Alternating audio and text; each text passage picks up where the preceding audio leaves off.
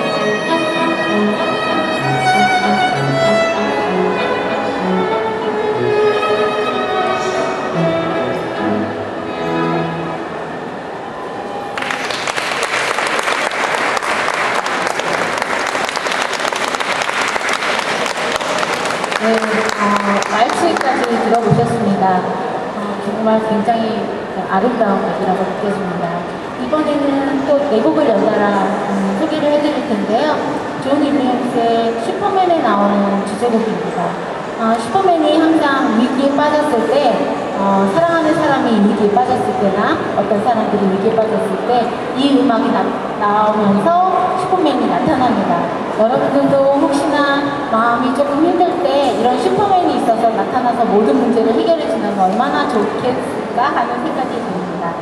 아, 그 다음 곡은 아이샨 존스의 어, It Had to Be To You인데요. 영화, 영화 해리가 셀리를 만났을 때 나오는 곡이에요. 어, 다른 사람들은 까다롭게 하지도 않고 지고 흔들려 하지도 않고 그렇고 그렇지만은 누구보다도 날 떨리게 하지 않기 때문에 단점이 있음에도 불구하고 나는 당신을 사랑합니다 라는 그런 곡입니다. 그리고 그 다음 곡은 피터 하이드리의 어, 생일 축하 변주곡인데요. 우리가 보통 생일날 연주하는 생일 축하곡이 굉장히 다양한 어, 곡으로 편곡이 된 거예요. 이 피터 하이드리는 어, 이 생일 축하 연주곡을 14곡인가를 이렇게 변환곡으로 이렇게 만들었다고 알려져 있습니다. 이 생일 축하곡을 들어보면 어, 굉장히 뭐 신이 나기도 하고 막 이럴 텐데요. 어, 재즈로도 그리고 춤곡으로도 그리고 또 헝가리 스타일의 그런 춤곡으로도 막 편곡을 한 거를 들으실 수 있습니다. 어느 만약에 이번 7월달에 생일을 맞이하신 분이 계신다면 어느 때보다도 특별한 생일 음악이 될 거라고 생각합니다. 음, 맨 마지막 곡은 마이클 맥린의 헝가리 민속 무곡입니다. 어, 이 곡은 맨 처음엔 조금 슬프고 잔잔하고 애잔하다가도 나중에는 정말 경쾌하게 빨라지는 그런 곡입니다. 네, 마지막 네, 다섯 곡, 네곡 연달아서 한번 들어보도록 하겠습니다. 큰 박수로 맞주시기 바랍니다.